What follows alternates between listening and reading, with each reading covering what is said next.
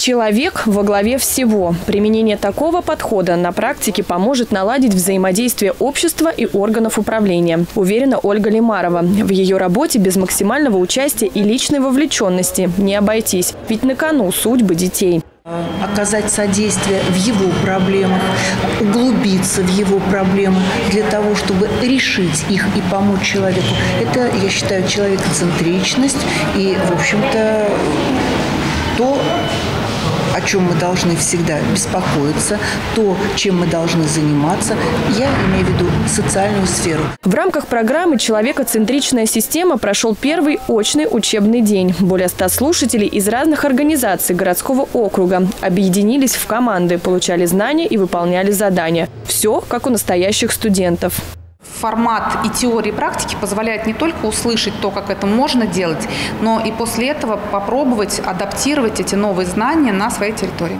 Где и как в будущем применит полученные знания, Владимир Горяев задумывается уже сейчас, несмотря на то, что обучение будет продолжаться еще 6 месяцев. Мы их э, перевариваем, трансформируем, существующие потребности, которые у нас возникают на территориях.